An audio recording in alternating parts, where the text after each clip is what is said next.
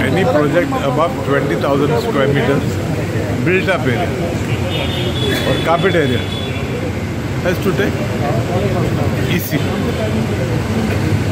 environmental clearance they have to take but आता जे प्रोजेक्टाचे बोवाळ चालू असा भूतानी म्हणा काय डी एल एफ तांचे ई सी क्लियर असले सर तुमच्या I am not aware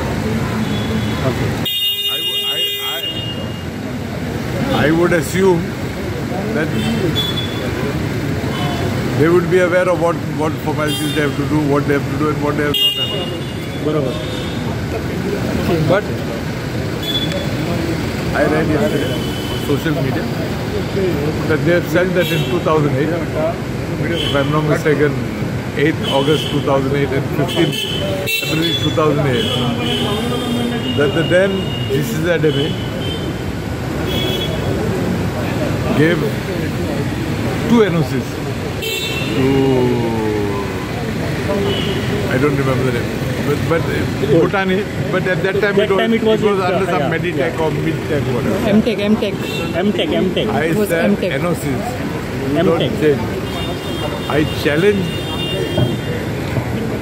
anyone to produce those NOCs. Because I know for sure that GCZMA never issued such a, a NOCs. I also categorically state that the member secretary of GCZMA at that time was Mr. Michael D'Souza, hmm. who is an officer known to be scrupulous, known to be particular as far as his uh, work, is, work is concerned.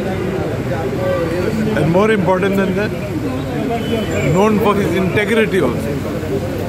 So that is why I'm very confidently throwing this challenge. You have the NOC, show it to me. So would say after, very much after that, the NOCs or other permission has been granted? I am talking about NOCs by GCZMA, dated 8th August 2008 and 15th February 2008.